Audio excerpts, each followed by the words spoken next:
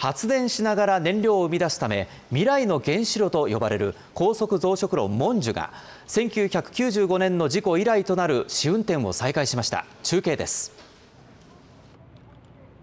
はい。平成7年のナトリウム漏れ事故から14年5ヶ月余りウラン資源の有効利用に向けた国のプロジェクトが再び動き始めました。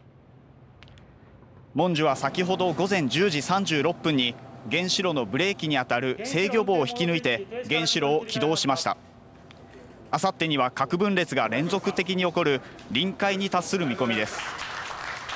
モンジュは発電をしながら消費した以上の燃料を生み出すことができる高速増殖炉の研究開発用の原子炉ですが平成7年に冷却剤として使うナトリウムが配管から漏れ原因の究明やナトリウム漏れ対策を強化する改造工事などに14年5ヶ月もの年月がかかりました。一方モンジュの再開に反対するグループは今朝もモンジュの入り口付近で抗議の活動を行っています。なおモンジュは今後3年間にわたって試運転を行い平成25年度に本格運転を目指します。